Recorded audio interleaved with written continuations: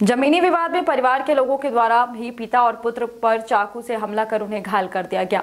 गंभीर हालत में उन्हें रीवा के लिए रेफर किया गया है। उधर पुलिस ने मामला दर्ज कर विवेचना शुरू कर दी है।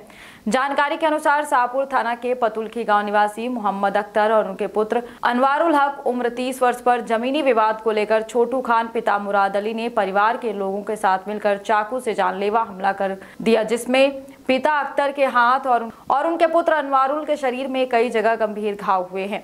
परिजन घायल पिता पुत्र को लेकर मऊगंज अस्पताल पहुँचे जहाँ हालत गंभीर होने पर अनवारुल को रीवा के लिए रेफर कर दिया गया है जबकि मोहम्मद अख्तर का इलाज मऊगंज अस्पताल में चल रहा है। पुलिस ने प्रकरण दर्ज कर लिया है और जाँच शुरू कर दी है। आपको बता दें कि अभी तक आरोपियों की गिरफ्तारी नहीं हुई है। अरे भैया साइड हो जाइए आप लोग पकड़ हो जाए हमारे खुद ख्याल नहीं आए बड़े हो लड़का लड़का कौन से पकड़ो ये बोतल पकड़ो। इतना नहीं कर हुआ पहले पहले पकड़ो।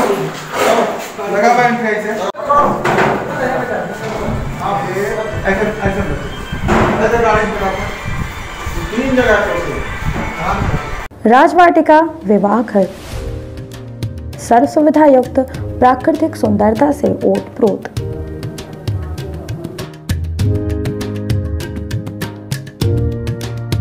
राजवाटिका विवाह घर में इंगेजमेंट तिलक, शादी रिसेप्शन वेडिंग शूट जन्मदिन पार्टी जन्माशा सहित अन्य कार्यक्रमों के लिए विवाह घर उपलब्ध। अपने मांगलिक कार्यक्रमों को यादगार बनाएँ शहर के मध्य वातानुकूलित राजवाटिका मैरिज गार्डन के साथ। हमारा पता है, Rajvatika marriage garden, national highway Jula मोड़, भुंडहा, रीवा। अधिक जानकारी के लिए संपर्क करें, nine eight two seven zero zero four two five one.